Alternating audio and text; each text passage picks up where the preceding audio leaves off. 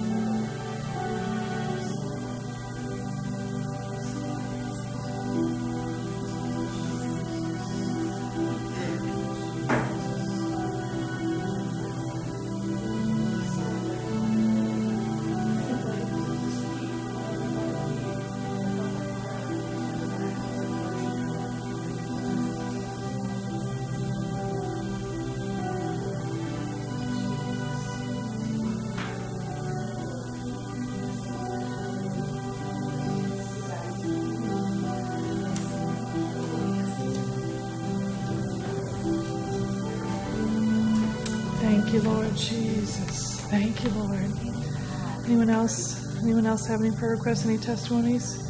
Let's just invite the Lord in for the service tonight. Heavenly Father, we gather together in your name, the name above all names, Lord, the name of Jesus. Yes. We gather together, Lord, because we're hungry. Yes. We're hungry for your word, Lord. We're hungry for your presence, Lord. We're hungry for fellowship with one another, Lord. We're hungry to be more like you, Lord. And we're thirsty, Lord. We're thirsty because this world is dry. And it's so and it just it sucks it out of us sometimes, Lord. And we come to soak in your presence, Yes. to be renewed and to be restored and to pour out all that's left. And ask you to pour it in again, Lord, as you always do every day. You pour it over us, Lord. You pour it over us more. And every day you reveal more of yourself to us, Lord. And that's why we come, Lord, because we're hungry, Lord, and we're thirsty. And when we come, we know that we will be fed. Yes. We know that you have given us the water, that we will never thirst again, the living water. Right. Glory. Yes. Jesus. You are in our presence. Jesus. Jesus. We believe in Jesus. Thank you, Lord. Thank you, Lord, that it is finished, Lord. Yes. Thank you, Lord, that we can gather together and celebrate all that you have done. And in this special season, Lord, when we think about your humble entry into this world, Lord, when you humbled yourself and became man, took on flesh, and dwelt among us, that you might know us and be like us, so that we could know you and be like you. Jesus, thank you.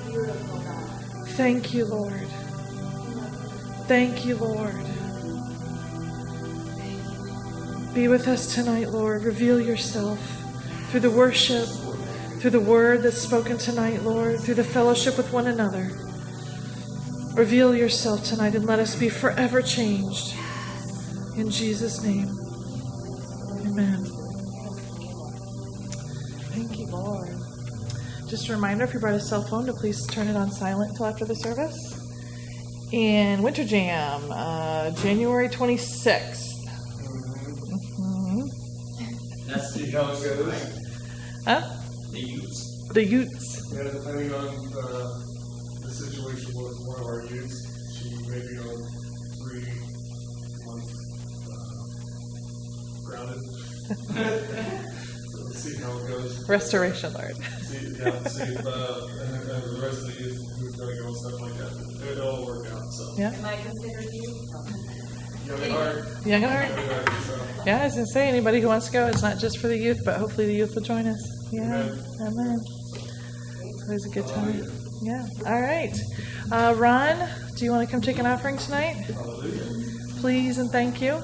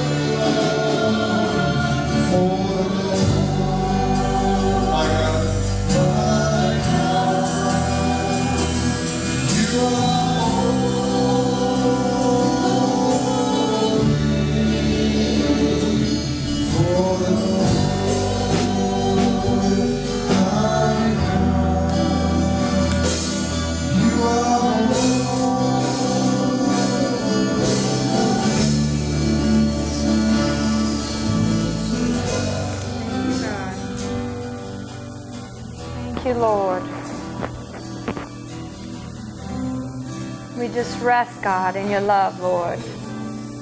For we know, Lord, that you are always for us. You are never against us, Lord. We just thank you, God, that you sent your Son to die for us so that we may live life and that more abundantly. Thank you, God, for your truth, your word. I just pray, God, that the words that are spoken here tonight, Lord, will penetrate, Lord. They are your words, Lord, and they are life. I'm just so thankful, God, that you've called us all for this time. For such a time as this, you've called us. Yes, Lord. Thank you, Jesus, for your goodness, because you are always good, always good. And I am grateful. Thank you, Jesus. Thank you, God. Thank you. Yes. Such a beautiful presence of the Lord. Thank you, Peter. Thank you, Susan, James. um, God's word, it never ceases to amaze me that it's always on time. when Suzanne was prophesying um, while we were praying for the two ladies, it just spoke to my spirit because it's what God wants us to hear tonight. So, so I wanted to share this with you. Um, I pulled this out of a file. I've had it since 2011, so almost seven years ago. And I remember it was right around springtime, and I was sitting out on my deck, and a deer just came up on our land. And here's what I heard the Spirit say to me. And I want you to close your eyes, if you will, and really listen to these words. He said this He said, You see that deer out there? It doesn't question the Creator. It gets up every day and it eats. It trusts that I will provide all things for it to survive the grain, the berries, the grass. It doesn't worry, is there going to be enough? It just knows there is. You were put on earth for one plan and purpose, not to look around and see what the world sees. You were put on earth to keep your eyes focused on me and believe. I will provide all things to you. Don't worry about how it's going to work. Just believe that it does work. Abide in me, and I in you, and I will provide all things for you. I am your creator. You are my creation. Walk in the understanding of the creator, not the creation. Be spirit led. For the truth, for the spirit is the truth. For the things of the earth will pass away, but the spirit remains forever. Feed your spirit. So I felt led to share that. For one, because I believe someone in this room needed to hear it. And two, because it goes along with what I'm going to share tonight, which is resting in the Savior's love. So you're going to hear me say some familiar things um, when I talk about my message.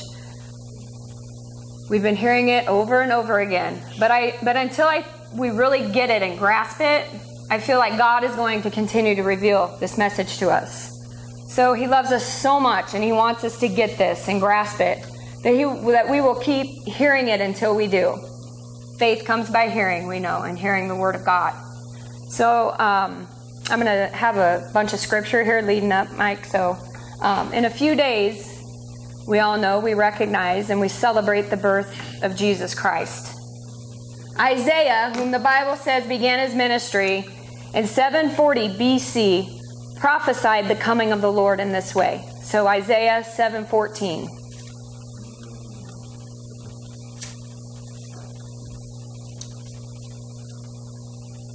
It says this, Therefore, the Lord himself shall give you a sign. Behold, a virgin shall conceive and bear a son, and shall call his name Emmanuel. Isaiah 9 6 says, For unto us a child is born, unto us a son is given, and the government shall be upon his shoulder, And his name shall be called Wonderful, Counselor, the Mighty God, the Everlasting Father, the Prince of Peace. I just think about that. 740 BC, God gave Isaiah an, an insight of the coming of his son. The psalmist David was also given an insight of this greatness, which he expressed in Psalms 32 1 through 2. It says, Blessed is he whose transgression is forgiven, whose sin is covered. Blessed is the man unto whom the Lord imputeth not iniquity, and in whose spirit there is no guile. So David also knew that there would come a day when a Savior would come and save the world. So now we fast forward and we read in the Gospels of Matthew, Mark, Luke, and John of the actual birth and the coming of the Lord and Savior Jesus Christ. In Matthew 1 20 through 23.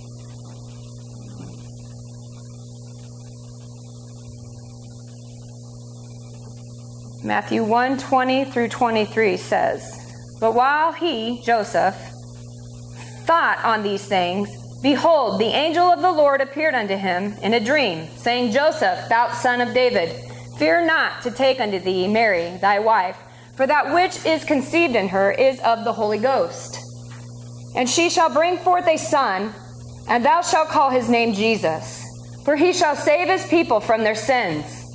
Now all this was done that it might be fulfilled, which was spoken of the Lord by the prophet, saying, Behold, a virgin shall be with child, and shall bring forth a son, and they shall call his name Emmanuel, which being interpreted is God with us. So that is Isaiah 7:14, prophecy fulfilled.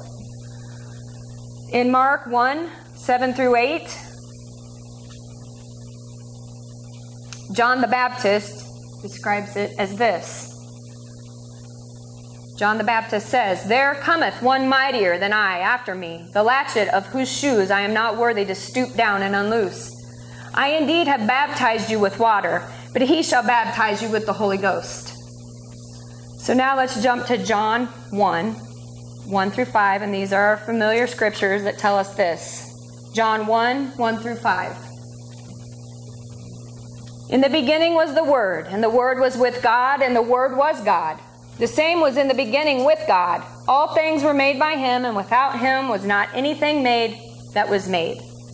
In him was life, and the life was the light of men. And the light shineth in darkness, and the darkness comprehended it not. And then jump down to John 1:14. And the word was made flesh and dwelt among us, and we beheld his glory, the glory as of the only begotten of the Father full of grace and truth. So now let's go back to Luke 1 30 through 33. Luke 1 30 through 33 describes the birth as this And the angel said unto her, Fear not, Mary, for thou hast found favor with God.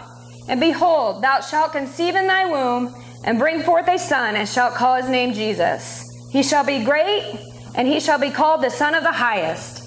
And the Lord God shall give unto him the throne of his father David. He shall reign over the house of Jacob forever, and of his kingdom there shall be no end.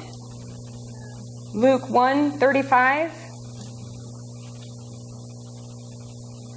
And the angel answered and said unto her, The Holy Ghost shall come upon thee, and the power of the highest shall overshadow thee.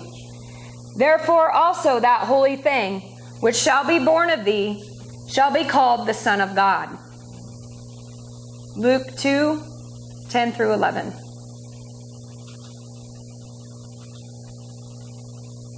And the angel said unto them, Fear not, for behold, I bring you good tidings of great joy, which shall be to all people. For unto you this day, in the city of David, a Savior, which is Christ the Lord. So, our Savior, the one who saved us from danger, the one who conquered sin and placed us in right standing with him. Matthew 121 said it. He shall save his people from their sins. Thou shalt call his name Jesus, and he shall save his people from their sins. So, right there, we should just hang it up and live by that truth. For after all, it was an angel from the Lord speaking to Joseph. What a simple truth that man has twisted for so long. God didn't send the angel to tell Joseph about law. The angel was sent by God to, re- to reveal to Joseph grace. At that moment, before grace was even birthed, the angel was giving a message to Joseph, whether he understood it or not. It was revealed to him grace. If we pick it apart, we can see that law is deserved favor, meaning when you obey the commandments perfectly, you will be blessed. Grace is undeserved favor, meaning Jesus obeyed God perfectly, and you will be blessed by believing Him. So think about that for a minute. Just by believing in Him, our Savior, we have all things. God says that He will not withhold anything from us. So, in that, we should rejoice, for Christ perfectly obeyed God and conquered sin. And therefore, in Romans 6 14, it declares this For sin shall not have dominion over you, for you are not under law, but under grace. You and I are not under law, which is deserved favor. Instead, we are under grace, which is undeserved favor. Everything we do in this life should be based around Jesus and the price that he paid on the cross. When we teach our children, our families, our friends of the Lord and his goodness, Jesus should be the center. When we sing songs of praise and worship, Jesus should be the center. He's not just the reason for the season. He is the reason we live, we move, and have our being in this earth. He's the reason we can pray, lay hands on people, and see good results. Experiencing the wonderful and marvelous things that only He can give. He is the reason for everyday living. We have to get into a Christ mindset.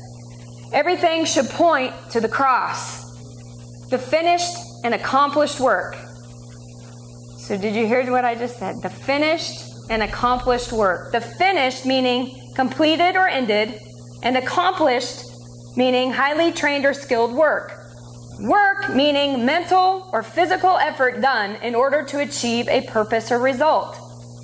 So Christ achieved and completed the effort so you and I no longer have to. The work is finished. Stop thinking about how you're going to get your healing, how you're going, how your finances will line up, or how your weaknesses in the flesh. This displays a type of work that we are unconsciously doing. Instead, point those circumstances to the cross.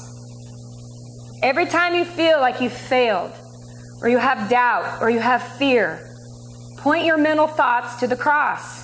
For instance, you get a bad doctor's report on your heart, say. We know the enemy will use that bad report against us. He'll point you to yourself and say, Can you feel the pain? You feel your heart racing, skipping a beat?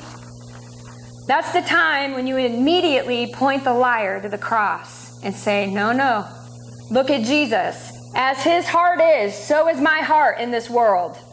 And this works for everything the liar tries to use against us. Don't let the enemy point you to you and point to the law mindset. You know, it was funny. I was thinking about this the other day. It's like, really, if we were thinking from a law mindset, humanity should feel guilty every day for just being in the flesh. Let me explain that. It's here is the mindset. When we feel like things are going good, we're doing things right, we don't think about guilt or shame or anything else because we just think we are okay because we're not out doing the big stuff, you know, like Christians try to measure the big stuff. The Bible says just being in the flesh is filthy rags compared to God and His glory. Not trying to put a damper on things, but that's what the word says. The flesh is filthy rags. So, really, even at our best, we still have the flesh and we are in need of grace. So, we need to constantly remind ourselves that our mindset should not be based around our flesh, instead, our spirit man. And I know we can all say yes and amen, but how often are we thinking on that spirit man? Is it 24 7? Or is it just when, you know, a need is needed? Are we clued into the reality of who we truly are, which is spirit, which is who God relates to, which is righteous? I heard Nathan um, talk a couple Sundays ago briefly on how God asked Adam, Who told you you were naked? He said. And that has stuck with me. So today, I think when we feel guilty or shame or the feeling of not measuring up tries to enter in our minds, we need to ask ourselves, Who's telling me I'm not righteous? Who's telling me I'm not measuring up? It's all in a matter of asking ourselves, Whose voice are we listening to? We need to point every accusation to the cross. We need to stop working things over in our minds. We need to just rest and sit down in His presence, believing on the one who finished the work. So back when Adam and Eve were deceived in the garden, God told them in Genesis 3:19, He said, "In the sweat of thy face shalt thou eat bread till thou return unto the gar- to the ground. For out of it wast thou taken, for dust thou art, and unto dust shalt thou return." In Genesis 3:23, Therefore, the Lord God sent him forth from the Garden of Eden to till the ground from whence he was taken. So both scriptures point to a picture of work when after Adam fell. The first scripture said, the sweat of his face. The second scripture said, to till the ground. So a type of work. But the Word of God declares this about the finished work of Jesus on the cross in Hebrews 10 12 through 14.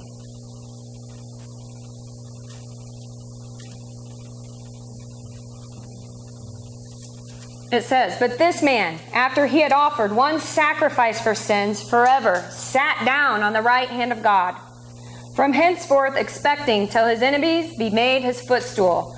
For by one offering he hath perfected forever them that are sanctified. So Christ's finished work on the cross was offered as one sacrifice forever. And when you received him into your life, at that very moment you are forever perfected.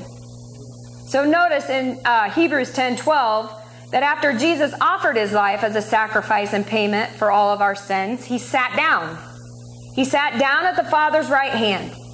Jesus sat down to demonstrate to us that the work is indeed finished.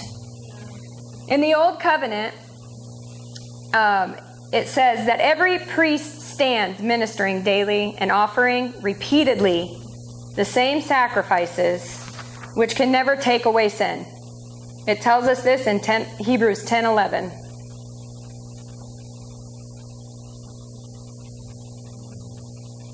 It says, And every priest standeth daily ministering and offering oftentimes the same sacrifices which can never take away sins. So every priest stood when offering the animal sacrifice that really could never take away sin.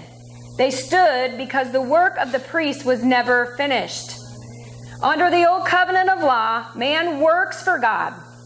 That's why the law states very clearly you shall not, you shall not, you shall, you shall. And you can read that. It's 20, Exodus 23 17. Um, I won't read through them all, but just as an example of what I'm talking about. Exodus 23 through 17.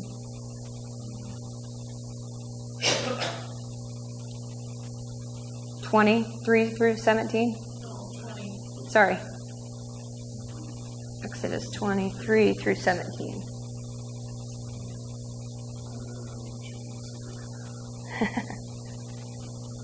There's a bunch of shout nots and shalt nots and you shall. So you shall not have other gods, thou shalt not make unto thee any graven images, and it goes on to say all the thou shall nots or you shall. So the focus is on you working. Under grace, God works. That's why, in reference to the new covenant, God said, I will, I will, I will. And we can see this in Hebrews 8 8 through 12. And I'm going to read these because they're so good. Because he's doing the work, or he's done the work. So Hebrews 8 8 through 12.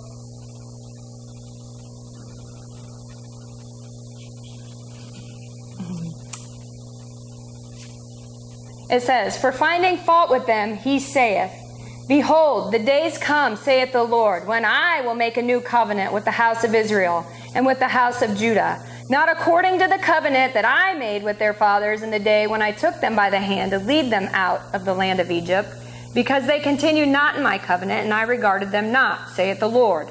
For this is the covenant that I will make with the house of Israel after those days, saith the Lord.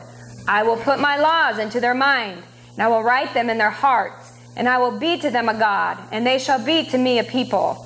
And they shall not teach every man his neighbor and every man his brother, saying, Know the Lord, for all shall know me, from the least to the greatest. For I will be merciful to their unrighteousness, and their sins and their iniquities will I remember no more. So you rest in his I wills as he works in you, through you, and for you. Only Jesus' work is a finished work. And not only did Jesus sit down at the Father's right hand when he finished the work, he made us sit with him, which tells us this in Ephesians 2, Ephesians 2, 4 through 6. But God, it says, who is rich in mercy, for his great love wherewith he loved us, even when we were dead in sins, hath quickened us together with Christ. By grace you are saved, and hath raised us up together and made us sit together in heavenly places in Christ Jesus. So, sitting down in the Bible is a picture of the believer resting in the finished and completed work of Jesus. He has finished all the work on the cross on my behalf, on your behalf, and is now seated at the right hand of God. So I just don't want you to misunderstand. I'm not encouraging us to be lazy or unproductive or passive in regards to the Lord when you hear me say sitting or resting. That's not what it's about. God's grace does not make you lazy and unproductive. It's just the opposite. It makes you labor more abundantly for His glory. In other words, we do not labor to be blessed, but rather we have the power to labor because we already are blessed. Yes. Highly favored in the beloved, our Savior, who was born of a virgin, innocent, was sent by God to die so that we would live. Because of the cross, the price for sin has been paid, the judgment executed, the anger toward sin exhausted, the veil torn, and the way to intimacy with God opened. His love for us is everlasting and totally unconditional. It describes his love to us in Jeremiah 31 3.